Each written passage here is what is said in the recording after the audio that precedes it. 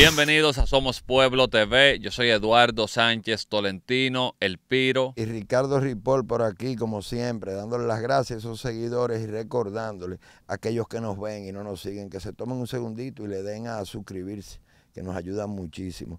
Y a esa diáspora, a ese dominicano en el exterior, gracias de corazón. Señores, miren, estamos todavía en elecciones, no, los conteos no se han finalizado, ¿verdad? Entonces tenemos que seguir con el tema de las elecciones 2024. Pero más que las presidenciales, hay algo que es bueno desglosar, analizar y que hasta digno de estudio, y es la senatorial. Guillermo Moreno, Omar Fernández, que eso ha, eh, sorprendido a un gran porcentaje de la población. Espiro. ¿eh, Sí, señores, miren, yo creo que viendo lo que ha sucedido con estas elecciones, hay varias cosas que uno debe de tener en mente. Eh, lo primero es que queremos que pase ya el conteo y se dé el último boletín para poder ver el nivel de abstención, que creo que es importante que sepamos cuál es el nivel de abstención en estas elecciones en específico de cara a las próximas elecciones. Otra cosa que tenemos que ver es qué es lo que se va a hacer con los partidos minoritarios eh, que viven para recibir dinero y poner la cara de los otros candidatos, porque si usted votó, usted se dio cuenta que la cara del presidente Luis Abinader estaba como en 25 de, lo- de los partidos, eh, y, pero en este caso, 27, yo en creo. 27, en- pero en este caso él, en otro caso fue Danilo, en otro, caso, fue Leonel, la crítica no es nada más él, es el sistema que para eso es que existen esos partidos que lo que se venden para poner la cara de otro y coge su cuarto. Entonces tenemos que preguntarnos qué se va a hacer con el financiamiento de los partidos también a futuro, porque viene de una reforma fiscal. Son temas y tam- que vienen al tema que traemos ahora, que es lo de Omar Fernández y Guillermo Moreno. Señores, al PLD lo sacamos teniendo todo lo cuarto, el poder y, y toda la maldad y la diablura posible en el año 2020. El PRM no llegó porque ellos tenían un gran plan del go- de gobierno y tenían un, un gran líder de masa que nosotros estábamos esperando y que el pueblo votó por él y que porque él iba a venir a salvar la nación. Eso no sucedió. Lo que sucedió es que como esa gente se iban a robar esas elecciones, y ya veníamos hartos desde hace tiempo de la corrupción y el robo de una manera descarada, entonces se votó en contra de ellos y el resultado fue esto. Ahora bien, aquí quiso pasar lo mismo en el distrito, Ricardo, imponerle a la gente de que a Guillermo Moreno, una gente que ni su propio partido, el PRM, eh, lo apoyó, porque si lo hubieran apoyado, tuviera sacado más. Y sacó el último conteo que tenemos. Y- 55 y pico a 31. Oye, una ¿cómo pela está? de calzón quitado. Da 56 con 20, 254.661 votos. Omar Fernández, Fuerza del Pueblo. A 180.000 votos, eh, 193. O sea, un 39.77%, 56 a 39. ¿Tú sabes lo que indica eso, Piro? Y ustedes que nos ven ahí, que no hay una relación directa con la cantidad de votos que sacó el PRM y los otros senadores y otros cargos electivos en comparación a la de Omar. ¿Qué indica eso?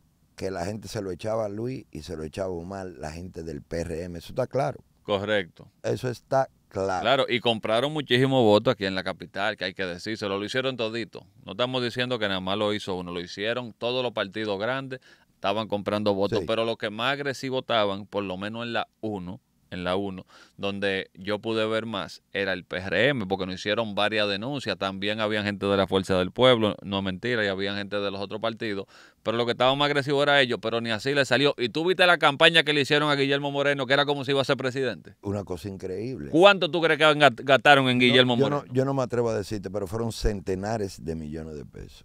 Aquí le- eh, todos los eh, ministros importantes y directores de oficinas gubernamentales importantes le hicieron actividades particulares y en conjunto con el PRM oficial a Guillermo Moreno. Vimos a Carolina desfilando, vimos hasta el mismo David, vimos a Yayo, todos, señores, todo, todo, Y, todo. y Farideh, Ricardo, ¿tú crees que te contenta? Yo entiendo que esa es una de las que debe estar más contenta hoy, de verdad. Y yo he visto gente diciendo, y yo pienso que es verdad, que ella ganó. Yo entiendo que ella, Ella ganó, ganó. también. Yo entiendo que ella ganó. Y déjenme decirle algo, con toda esa victoria avasalladora, arrolladora de Luis Abinader, que lo felicitamos, esperamos que haga buen gobierno, eh, tuvo una derrota significativa. La decisión de elegir a Guillermo Moreno fue de Luis Abinader. la línea que mandó a todo el mundo para que hicieran esas actividades fue de Luis Abinader. Y los recursos eh, que se gastaron fueron del oficialismo en esas actividades, esas marchas y todo, y no le valió que bailara dembow, ni bachata, ni que se pusiera los guantes. Ni que salga cueva, no, no, de atrás de una mata. Yo lo que sí le tengo un mensaje ahora es a este partido, al presidente Luis Abinader, yo espero que ese señor no lo nombren a Guillermo Moreno, porque ya por lo que ustedes hicieron de aliarse, ya ustedes le garantizaron que ese partido siga, ¿verdad? Porque se benefició de los votos del PRM se mantiene vigente y espero que no lo nombren a ese señor porque para mí es una persona que, óyeme, yo creo que en esta elección es completa, la persona que más perdió perdedor fue Guillermo Moreno. Es Guillermo Moreno, porque usted no nada más perdió una posición, usted perdió su credibilidad y su palabra, porque él era de los que criticaba al PRM y entonces me vienen con el discurso y mucha gente de Alianza País, no, que el sistema es así que para llegar ni así llegaste. Te explotaste. Ya tú lo que tienes que es retirarte, decir, no, yo predicaba una cosa, hice otra y ni así llegué. Pero, pero, ahí anda el Twitter que tú y yo no estábamos hasta riendo. Él, eh, diciendo, felicitando a Mal, pero diciendo que él va a seguir en la actividad política. Claro, pero también. Y, trabajando para, para el beneficio de, de la política y del país. Pero sin vergüenza, deja eso ya. Pero que yo no sé. Tú no prendes, oye, ni con la maquinaria del Estado arriba, no prendiste y no ganaste. Oye bien. Y a la gente no le gusta que le impongan cosas y se demostró en las urnas. Claro, y otra cosa que tampoco él debió hacer, con el discurso que tenía Guillermo Moreno en contra de Omar Fernández, él no debió ni felicitarlo, pues, manteniendo la coherencia, porque él estaba en otra en otro universo de seriedad. Adiós, pero en el debate presidencial fue acabar lo que fue. Entonces ahora lo felicita muy bien, que le vaya muy bien. No, debió decir, no, lamentablemente ganó la corrupción, debió decir algo así, porque ahora es bueno. Ya él quiere retirarse, de que con altura que, que yo que Pero usted se quemó. Que, que, él va a seguir embromando y Luis lo va a premiar, eso escríbelo. Hay que darle un premio de consolación. Y lo que nosotros estamos haciendo, este análisis, yo no soy eh, a favor de la fuerza del pueblo ni de candidatura ni promoviendo mal. Aquí estamos dando un ejemplo de cómo ese muchacho y la gente que lo apoyó se comieron a Guillermo Moreno y, y también cuando usted quiere imponer un candidato hasta su propio partido, se le vira, porque hay muchísima gente del PRM que votó, como dijo Ricardo, por Luis y por Omar Fernández en la senaduría. Sí, no hay una relación eh, eh, eh, real entre los votos del PRM y los votos de la presidencia en comparación con los de Guillermo. Y miren, yo le voy a decir algo, porque aquí hay que llamar la atención a Omar también, porque Omar, uno de los grandes fracasos de, de estas elecciones y del propio oficialismo fue apostar a Guillermo Moreno ¿verdad? Eh, ganó mal. Omar venció al Estado. ¿Tú viste cómo Danilo dijo, el Estado me venció? Omar solo venció al Estado. Y el error más grande, yo tengo un video que lo grabé el viernes o el sábado. Y no lo subí, yo dije, porque se, atreve a prestarse interpretaciones, que era diciendo esto, que sucedió, pero y lo tengo ahí con todo. Eh, pero hay que llamarle la atención a Omar Fernández, que no te endiose, no te la crea, eh, actúa tener el país entero, te van a tener bajo una lupa y te buscaste muchos enemigos a lo interno del PLD y en el PRM que te van a estar chequeando. El PRM cometió un error enorme que fue endiosarte. Te subieron. Tú, aunque hubieras perdido, hubieras sido un gran ganador porque tú tuviste que pelear contra todos, contra el PLD y contra el Estado completo y el PRM oficial. No te la creas esa película, no te la creas. Eso que tú le dices importante porque, primero, el PRM se hubiera dejado a Faride para mí, arrolla aunque usted esté de acuerdo. Con el 10%. Óyeme bien, aunque tú estés de acuerdo con no, o no con ella, que yo no estoy de acuerdo porque era una vaina cuando estaba en oposición y, después en el Congreso se volvió otra cosa.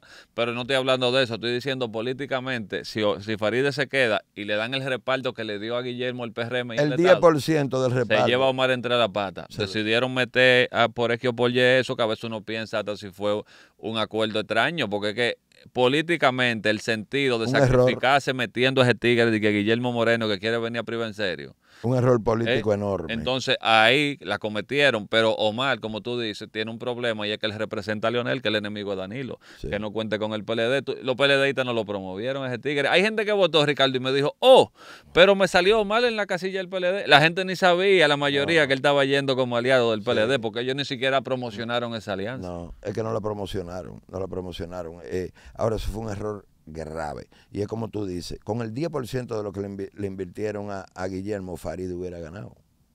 Porque no se hubiera dividido el voto, porque que el voto del PRMista no fue para Guillermo, porque estaban indignados. Nadie entendió eso. Ahora yo te voy a decir, esto es un análisis que quizás es atrevido, nadie lo ha hecho, pero, pero yo creo que la gente del PRM y el propio Luis han aprendido muy rápido. Tú sabes que yo creo que ellos están haciendo, desintegrando la partidocracia para polarizarla, porque ya Alianza País se le debe a Luis Abinader. Ese es un partido menos en la contienda electoral que se puede aliar con otra gente o algo. Él ha ido 27 partidos, tenía de los 30 y pico. El PLD es un partido en vía de extinción con un 10%. Yo entiendo que Miguel Valga hizo el ridículo, el PRD. O sea, aquí se va a polarizar. Vamos a estar casi igual que Estados Unidos. O sea, PRM y Fuerza del Pueblo, ¿verdad? Demócrata y republicano. Aunque estos no tienen diferencia ideológica ni línea de pensamiento, pero que se va a polarizar. A eso es que me refiero. El que yo veo que es el verdadero perdedor de todo esto, ¿tú sabes quién es? Abel Martínez. Y el PLD. Esa gente, oye bien, esa gente sacaron en el, en el 16, no fue como un 60. Ese otro que no fue como un 60 que sacó el PLD en el 16. Sí. Y estamos. Más que Luis ahora. Estamos, exacto, estamos en el 24 y sacó un 10. Sí.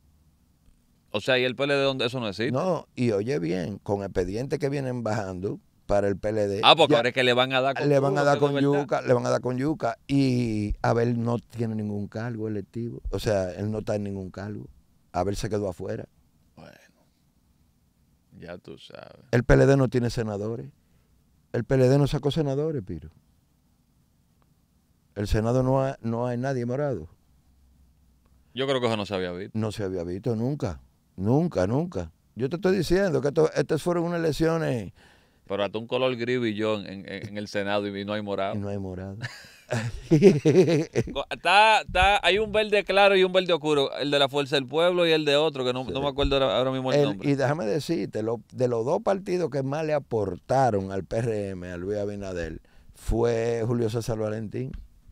Uno y el otro, Milton, el, el, el Pinocho de Milton Morrison. Donde puede haber problema en el 28, si todos esos PLDistas, que 10 son 10, un 10 es un 10, aunque es poco para ellos, es un 10. Si esa gente dice, bueno, aquí ya no hay vida, hay que irse con Leonel. Manito, esa victoria y esa posición que le dio el PRM a Omar, de ese 10 se va a ir como un 5 para donde Omar. Porque no pone Leonel, es para Omar. Porque lo lo fijaron y lo posicionaron como una figura presidencial. Ya Leonel está desgatado, que esperemos en Dios que deje esto y le, abra paso. ¿Tú crees? A la, yo sé que él no lo va a hacer. Él va a decir, él va a decir, nadie llega al padre sino a través del hijo. Se va, él seguro se va de candidato a presidente y quiere poner a Omar de vice. O una vaina así, se atreve a hacer. Y pues le va a ir mal. Le va a ir mal. Ojalá y Omar no entre en eso.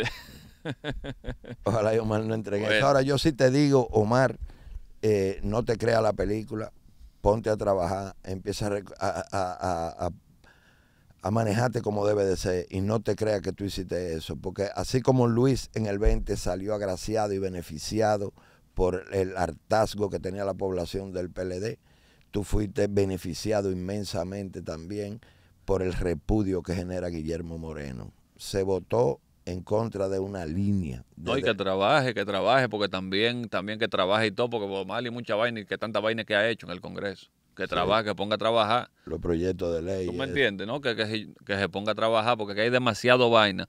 Que, se, que uno le dijo a él cuando le hicimos una entrevista en, en Somos Pueblos Radio, cuando estábamos en radio, si él iba a llevar un proyecto, te vamos a entregar un par de vainas para ver si es verdad. A ver, pero, yo, pero yo te voy a decirte una cosa. Él ahora va más forzado. Porque el Senado, el Senado o Cámara Alta es mucho más reducida y es completamente PRMista. O sea, es lo que puede ser un voto disidente. Oh, pero es mejor para él, Pero es mejor para él. Pero a él se lo van a bloquear todo lo que él me... Pero ojalá, pero ojalá se lo bloqueen, pero eso mismo le pasó a Palicia, así fue que él se proyectó y la misma Farida, ellos se proyectaron así. Pero ya Ahora Palicia está gordo, tú lo viste en la toma de posesión. No, y oye, y oye bien, el cargo de Paliza cuando estuvo ahora en la presidencia como ministro y también el cargo de presidente del partido, se le viró como un boomerang. Porque Paliza era una de las personas que se percibían como presidenciables. Ya hoy el día no. Murió con flores. Él ni suena. Ahora, lo grande, Ricardo, que estábamos hablando fuera de cámara, que en este proceso, mientras uno quiere que el país avance, el PRM en estos cuatro años ya matarse para ver cuál es que va para el 28. Lo, del ya despedazarse. Lo del fine, lo del fine. Pero ya eh, lo que, oye, en el discurso de la victoria ayer, la el partido con PRM, ahí, ya lo que se está hablando es de los futuros presidenciales para el 28. Ya Luis lo están echando en una caja. no empezaba a gobernar, no tomó posesión y ya lo están echando en una caja y están discutiendo entre ellos. Esa es la comidilla de hoy, que habían cuatro presidenciales en la tarima, que adelante estaba el otro. ¿Tú no viste que el discurso que él dio fue también diciendo que él no va a ser candidato más? Ahí hicieron esos tigres así, mierda, voy yo.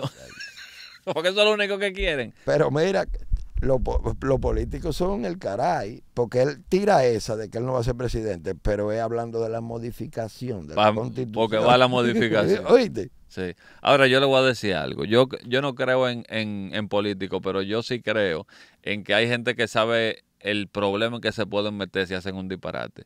Si ese señor se atreve después a hacer una modificación y a contradecirse, yo espero que mejor no se atreva y creo que no se va a atrever. Ahora, si me equivoco, se va a joder. No se, va, ya, se, va a tener, se va a tener que ir a vivir para, el, Líbano. allá mismo. Para el Líbano, no, para el Líbano. allá mismo, a comer baclava y tipile. Tabule. Sí.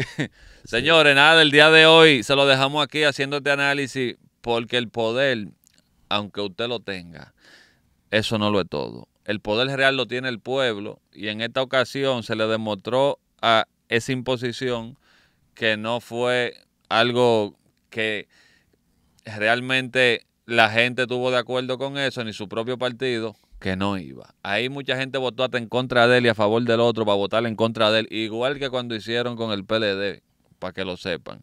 Y nada, dándole la gracia a toda la gente que ve en este canal de YouTube, invitando a que se suscriban, quienes aún no lo han hecho, y también agradecer a quienes colaboran con nosotros a través de patreon.com, diagonal Somos Pueblo TV, y nos ayudan a realizar este trabajo. Y para concluir, otro gran ganador de este proceso fue la Junta Central Electoral. Yo creo que es el primer proceso, la primera contienda electoral que yo veo que no ha creado un run run ni ha afectado su imagen en cuanto a la operación y el manejo de, cómo se llevó el proceso. Los felicito. Somos Pueblo Media, somos Pueblo RD.